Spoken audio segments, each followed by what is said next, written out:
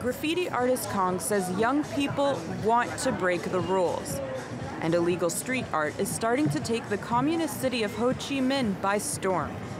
In a country where the government stamp of approval is required before works of art can be displayed, these artists are painting outside the lines.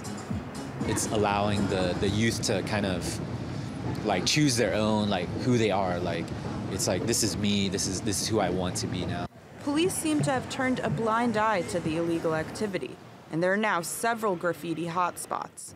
The 3a station is one of them. The site is rumored to have been occupied by the cia during the vietnam war but it was recently bought by developers and its occupants were told it would be demolished within weeks. But now the city is growing up.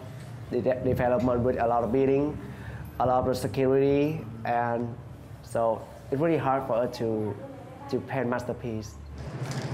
But artists say they're not giving up on expanding people's definition of art, and they'll simply look for new places to showcase their designs.